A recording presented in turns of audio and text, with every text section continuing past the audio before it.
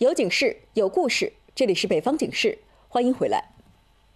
嫌疑人李某屡教不改，走到哪儿偷到哪儿，无独有偶，在盘锦还有这么三个难兄难弟。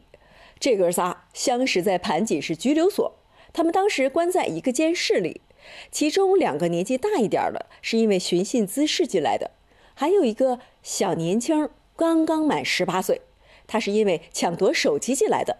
结果这三个人不仅没有好好反省，反倒是相约出去后一起组团实施盗窃。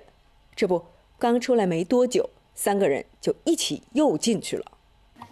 二零一九年的九月份，盘锦市大洼区新兴鱼楼、新开镇以及盘山县太平镇先后发生了多起入室盗窃案件，被盗物品有手机、香烟、现金等等，价值七千多元。西安辖区有两发生两起盗窃案，一起是三林子的，丢了一个一部手机；另一起是小洼村，丢了几条烟和六千元钱。我在九月二十四号那天中午，完了，都是我把手机放在自个家的炕上了。我上隔壁邻居家，完我回来，呀，我就发现手机不在了。王阿姨家住在盘山县太平镇，左邻右舍住的都是老乡亲。平时村里也很少有外人来，临时去谁家串个门，大家一般都不用锁门。窗户之前我走了，我都关上了。关完事儿回来的话，我看发现电话没有了。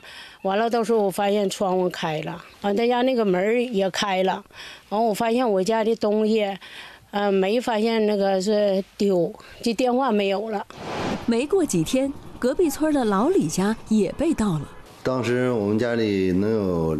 六千块钱，单有六六条烟，呃，当时我跟你说是第二天，我想找找那个，就是我们村的老百姓准备干活。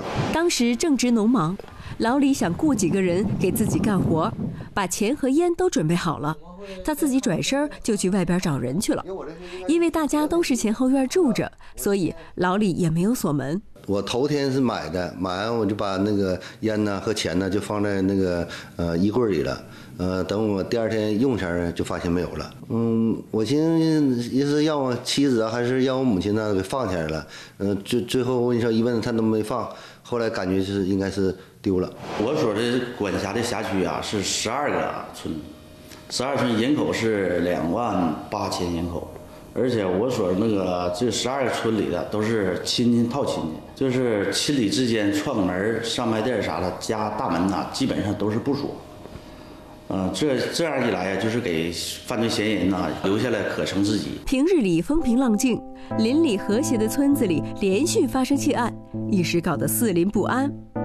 西安派出所接警后，立即组织民警对现场进行勘查，同时对周边的群众进行了走访。